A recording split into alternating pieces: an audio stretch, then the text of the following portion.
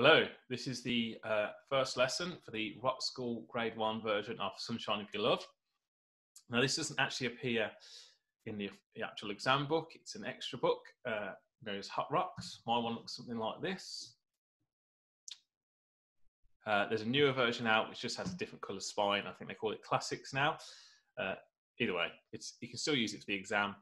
Uh, it's just you need to have two books rather than one if you're going to do that. Uh, anyway, if you learn it just for the fun, that doesn't matter too much. Uh, this lesson, we're just going to look at the initial riff. Now, if you've looked at my rock riff lessons, uh, different uh, group of lessons, then you've probably already learnt this, but I'll go through it anyway.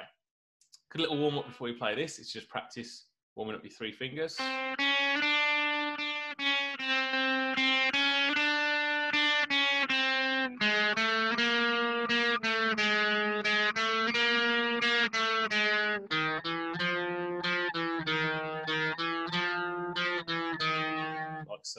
So you're trying to use, one, two, three, three, two, one, different finger on each. It's a good way to get them warmed up. Picking wise, I'm just going up and down, alternate picking on that. Okay, and when you play the riff, it's a good idea just to stick to those fingers. So third fret on third finger on third fret, middle finger on second fret, first finger on first fret, like so. The first bit is just on the second string on the B. Just going to go three, three, one, three. To get used to that using your two fingers and up and down picking there. There we go. The next part goes on to the next string, you go two, one, zero.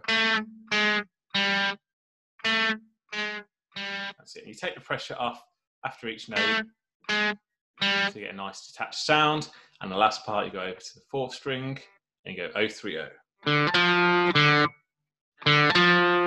And then you just put all that together.